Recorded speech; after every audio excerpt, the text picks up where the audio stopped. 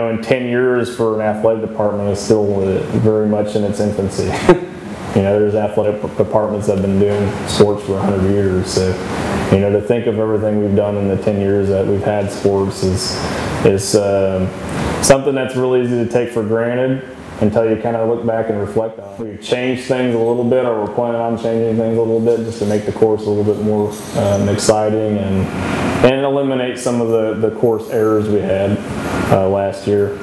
Uh, but we're real excited about it. It's a real popular meet at this point. It's only our second year to, to be um, hosting it, and we have 12 schools that are committed to coming.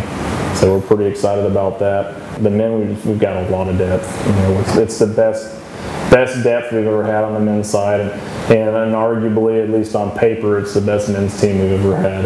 Um, extremely talented group. Um, and I, I have really, really big expectations for them in terms of what they're going to be able to do. Um, also expect them to go into a conference and, and, and be able to win it.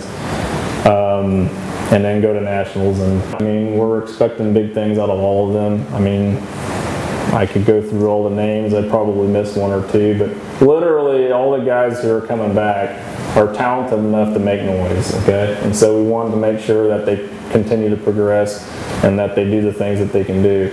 Um, they all look really good right now. I mean, we've only been practicing for a handful of days, but they look good right now. Uh, in terms of newcomers uh, on the men's side, Derek Barnett, which was a guy we got who we've been very excited about in terms of being able to sign. He's just right now, and again, you know, you know, uh, you don't want to put too much into it too early, but he looks really good right now. Um, he's a guy that's broken 15 and 5K before, and so with that, there's already these expectations that come with that. Our expectations for the women uh, are the same as they've been the last couple of years. You know, we fully expect to go into the conference and take care of business and walk away with the the plaque, so to speak, and then you know, our, our ambitions are also the same as they were the past couple of years in that, you know, we don't want to just win conference, we want to get the nationals and we want to do something there, you know, we don't want to just be there. Um, on the women, you know, the big three is basically what I'm calling them at this point, and that's Jasmine,